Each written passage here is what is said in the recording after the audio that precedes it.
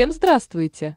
Журналист Дмитрий Шепелев может в ближайшее время выйти на новую работу после ухода с Первого канала. Об этом телеведущий написал на своей странице в социальной сети Instagram. «Совсем скоро свободного времени снова не будет», – заявил мужчина. Коллеги Шепелева рассказали, что Дмитрий давно хотел уволиться с Первого канала. Его смущали затяжные съемки и сама суть скандального шоу, которому ведущий пытался придать интеллигентный вид. Решение уйти он принял, когда у него сдали нервы. Он спешил домой, но график съемок затягивался, и ведущий не сдержался. Шепелев заявил, что уволится.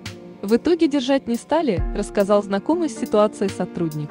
Среди возможных причин также называют запуск шоу «Собчак». Зарплату журналиста решили урезать в пользу гонорара известной блондинки. На этой почве Шепелев мог поругаться с начальством и покинуть канал.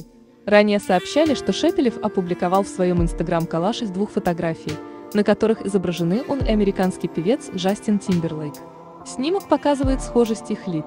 При этом сам журналист не стал объяснять своим поклонникам, почему сделал такой пост. А у нас на этом все. Спасибо, что были с нами. Подписывайтесь на наш канал. Ставьте лайки, комментируйте. Всем пока-пока.